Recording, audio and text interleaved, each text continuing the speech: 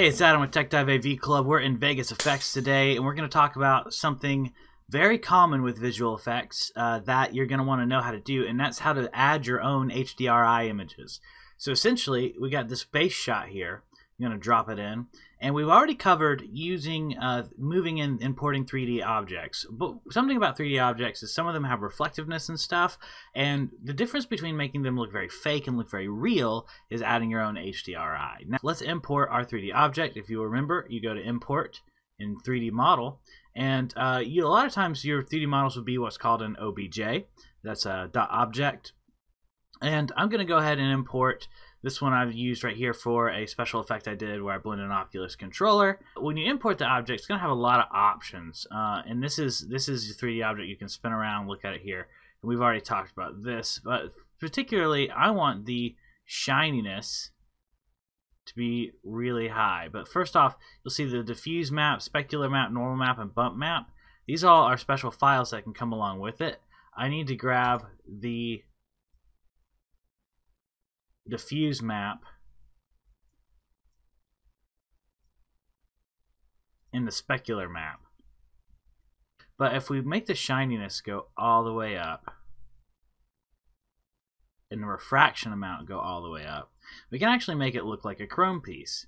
And you can see it gets so shiny you can actually see the HDRI that's being used right here. It's like a theme park or something because um, you can see there's like a building upside down there. There's a sign. There's a fake room that's wrapping around this to give it something to reflect to make it look realistic. Uh, so we're going to keep it shiny and chrome like this, even though it's not what an Oculus controller looks like in real life. This is going to help show what we're doing in this. So I'm going to, now that it's here, I'm going to drag it to the timeline, and I'm going to make sure it's on top where you can see it.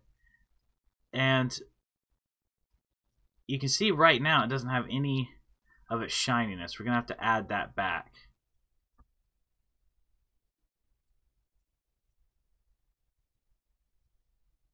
So that's good enough for our purposes here.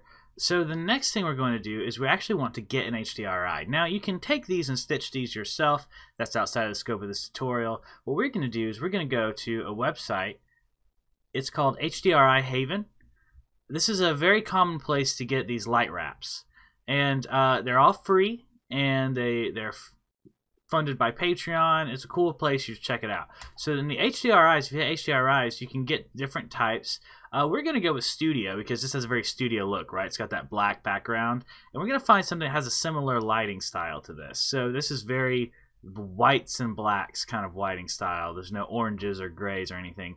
Uh, so we're looking for something like this one right here. Very, very generic white and black. Instead of like a, this one's got a more yellowish look to it. You know, they all have different lighting looks. So we want something that matches. So I'm going to click on this one here and I'm going to, this is what an HDRI looks like too. It's like a 3D bulb image. There's a lot of different ways people use them with different softwares. I'm going to go ahead and grab the 4K version of it. And then I got it right there. It actually downloads super fast and you can grab it right from your downloads folder, drop it into your shot.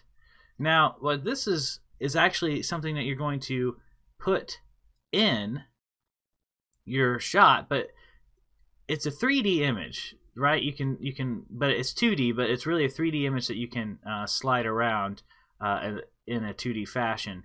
We're not doing anything with this really, other than we're going to to just leave it where it is and we're going to mute it. The next thing we're going to do is click on the Oculus controller, and over here where there's all these gauges and stuff, uh, we can go to the Oculus controller material, and we can go to this environment map right here. This is where you use your HDRI.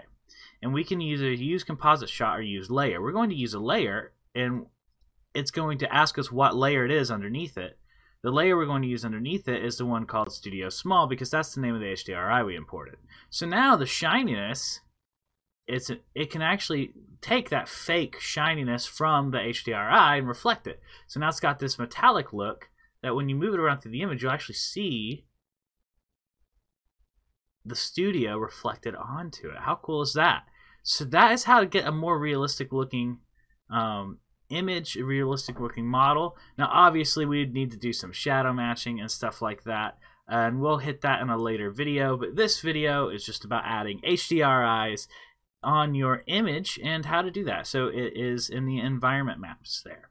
And uh, thank you for watching. Like this video helped you out. Subscribe if you're looking for more Vegas effect videos. I'm going to be doing a sci-fi sketch uh, over time, just kind of building on it little by little. And as I do that, I'm going to be uh, learning more about Vegas effects and teaching more about Vegas effects as we go, as we're having to make spaceships and import aliens and uh, all sorts of fun, interesting stuff, uh, particle effects.